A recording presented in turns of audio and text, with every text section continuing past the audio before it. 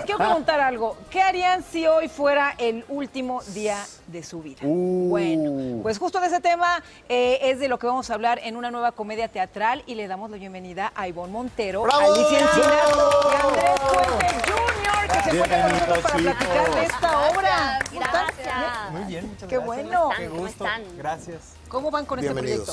Padrísimo. Bueno, primero que nada, muchas gracias por el espacio. El espacio. Estamos muy contentos porque llevamos un fin de semana ya. Hemos eh, tenido una gran aceptación del público en el Teatro Tepeyac. La gente sale divertidísima. Y, este, y pues nada, estamos ahorita en la semana de promoción, precisamente por la semana de estreno, tratando de que toda la gente se entere. ¿Cómo se llama la obra? El último día de mi vida. Uf, qué fuerte título. Fuerte, ¿no? Fuerte, pero no. Pero muy divertido. ¿Por qué? A ver, Porque- acláramelo. Porque uno, uno, uno piensa, ay, me voy a morir, ¿no? Y ay, ¿qué voy a hacer? Y realmente, por ejemplo, todos estábamos platicando y todos vamos a terminar en fiesta. Ah, todos estamos claro. de.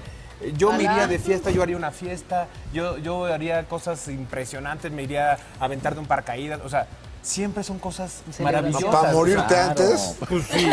No, pues sí, sí, ¿Qué se pasa va a adelantas mañana que me muera hoy. 24 horas? Sí, ¿no? Entonces, e- e- eso es lo que juega la, la obra, ¿no? De, de que no es nada más algo trágico, ¿no? De, oh, me voy a morir, sino que realmente puede ser en el día, uno Claro, nunca claro. sabe. Entonces, es vive tu vida, vive realmente tu vida como si fuera el último de, de cada día. Ay, Sí. pues Alicia, bien, querida. ¿a qué género pertenece? ¿Es una comedia? ¿Es un drama? Una tra... ¿Qué, qué es? ¿Qué? Es una o sea, si llego al Tepeyac, ¿con qué me voy a encontrar? Con una comedia de enredos. ¿Ok? De enredos, de situaciones simpaticísimas y de que va a ser. Me, me preguntan a mí, ¿y voy a llorar? Vas a llorar, pero de la risa. Ah, bueno, es mal. Es una comedia de enredos, la verdad, una comedia para divertirse. Hace mucho que, bueno, que no sé, hace mucho que no se hacía este tipo de comedias. Qué bueno, porque creo que hay que retomar también este tipo de, de teatro para que la gente se divierta. Por se la supuesto. pase a Sí, todo sí, dar. Y Alicia hace un personaje divino. Increíble. Divino, maravilloso. ¿Qué personaje hace? así como Ah, ella. no. Así como ella. Una Sí. cougar. Eh, uh. Bueno, Pero eso nomás ¿no? en la tabla teatral, ¿no. Alicia? ¿O en la vida real también?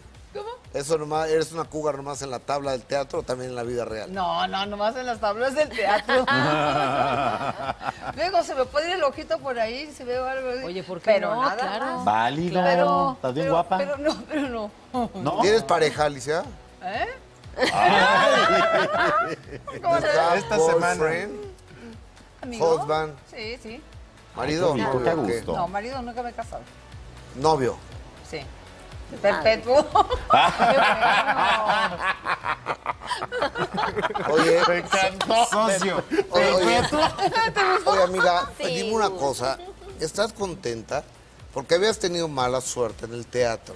Sí. O sea, yo entiendo que en este negocio pues uno vive de esto y, y- Así y- es. y le tiras a donde tenga, a donde te lata y además tienes tú la responsabilidad de tu nena y- y, de esto vives y de esto comes y demás, pero tuviste dos malas, o bueno, complicadas Sí, experiencias, complicadas. Pues siempre que empieza uno un proyecto, sea de teatro, televisión, lo que sea, uno se proyecta, justamente se proyecta futuro, de que vas a vivir un tiempo, un buen tiempo de él, esperas el éxito cuando las cosas se, se van manejando bien. Lamentablemente no fue así y tuve el chance de retirarme por no precisamente no dar la cara de algo tan Claro, mal sí. Claro. Y viene esta oportunidad, primera vez de trabajar con Alejandro Medina, que me da la oportunidad.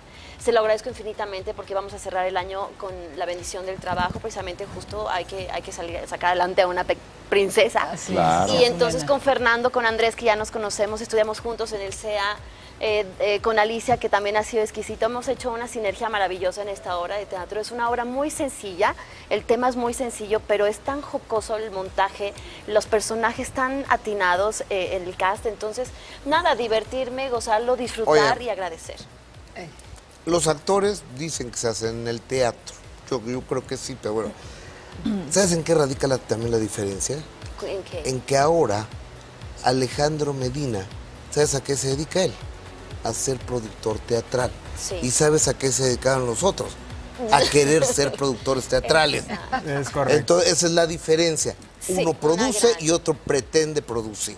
Completamente. O sea, Zapatero a tu zapato. la enorme eso es- diferencia. exactamente. Y Alejandro tiene muchas puestas en escena, tiene muchos años, tiene cantidad de placas en el teatro. Claro. Claro. Lo sabe hacer y sabe cómo hacerlo. Sabe aguantar también, porque el teatro también es de aguantar. Es una especialidad Como productor, esto, claro. hasta que empiece a funcionar. Entonces, bendito Dios, lo conocí y estamos trabajando. Andrés, ¿es su obra número? Uy, este, ¿50? O sea, de- Cuenta Sí, ya. sí, o, o más, la verdad sí no sé. yo se, tengo- se pierden las... Sí, sí, la verdad que sí. Eh, de repente haces obras muy grandes, obras chicas, una obra tan grande como esta, pero de repente también te vas a escuelas a hacer obras de teatro y sí, de repente pierdes el- la noción de cuántas, ¿no? Pero yo- sabes que yo creo que lo, y lo importante y lo que vemos aquí es la gran química que hay entre ustedes y también la decisión de un productor de hacerlo de esta forma. Porque si no, no, empiezan las crisis en, en- en todas estas puestas en Sí, escena. claro, pero se claro. nota cómo están ustedes también. Mm. ¿No, Andrés? Así lo sientes. Sí, claro, y aparte nos falta Fernando, nos falta Antonio, este, y nos faltan los muchachones que también están divinos. guapos. Ya, ya empezó Beatriz, que es su personaje, este, y, está divino, de verdad, la, la química que hicimos desde el día uno, o sea, de, de- de vernos, de conocernos, los que ya nos conocíamos, este, ha sido algo maravilloso, muy, muy lindo, y se, y se proyecta en el escenario. Eso es lo más bonito. Oiga, me gustaría saber,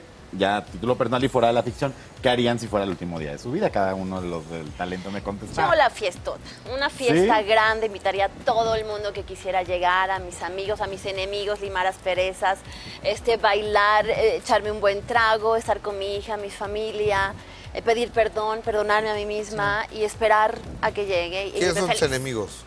¿Tienes enemigos? Hay muchos. Algunos que pretenden. Hay muchos que a lo mejor ellos no saben que yo sé. Ándale, oye, buen Pero estarían punto. invitados. ¿Compañeros del medio? Del medio y no del medio, de todo, de todo. Hay de todo, por todo Ay, bueno. Ivonne, ¿qué enemigos vas a poder tener? Alicia, es que luego no nos querida. los hay. ¿Tú qué harías? Yo también haría lo mismo que Ivonne, pero nomás que yo haría algo más. Haría algo como lo que quiero hacer en la obra de teatro. Ya sabes ¿Qué qué es? haría. Eso. Todo el día. Todo el día. Eso está delicioso. Con uno de los de la obra, Ali. ¿Con quién de la obra? Divertirme, pues. ¿Eh? ¿Con quién? Ay, Dios mío. Ya. Ay, ya sabes. ¿Cuántos puede uno escoger? Ay. ¿Tú, Andrés? No, este. Es- yo le pediría a Ivonne una fiesta. Digo, para como las pone. Fernando, Fernando dice, yo iría a la Yo fiesta iría de a la Ivonne. fiesta de Ivonne, sí, claro. No, ¿Y tú, yo también, yo, yo pediría perdón, gracias y, disfrutar el- el- la vida como lo trato de hacer todos los días, ¿eh? O Y celebrar y disfrutar, ¿no? Sí, claro, por supuesto, totalmente. Teatro Tepeyac, Tepeyac, ¿verdad? Teatro Tepeyac. Yo, fíjate que yo lo haría más privadito, Ivonne. Yo lo haría más privadito. Familia y punto. Sí, Como- sí, ya. como una Los Navidad. amigos pues ya me conocieron y ya estuvo. Ya saben lo que Eso les sí. di. Yo. Sí. Como una Amigos, Navidad. pero no Oigan, tener- así. Yo, Exacto. no- yo lo dije nomás así, pero haría muchas cosas más. Ah, bueno. ¿Verdad? Oigan, Alicia, gracias por estar aquí. No, gracias a Es ti. tu casa. Y siempre te veo en todos Gracias. los programas. Gracias, Ah, querida fuerte güera. aplauso, Belén. Andrés, gracias. Vayan al teatro Tepeyac. Por única semana estamos hoy jueves y sábado. Hoy jueves 7 y 9, sábado 5 y 7. Perfecto. La siguiente semana ya es viernes y sábado. Perfecto. Gracias, gracias por estar aquí. Mucha suerte allá al norte de la Ciudad de México. Esa es tu casa. De primera mano. Lunes a viernes, 3 p.m. Participa en Imagen Televisión.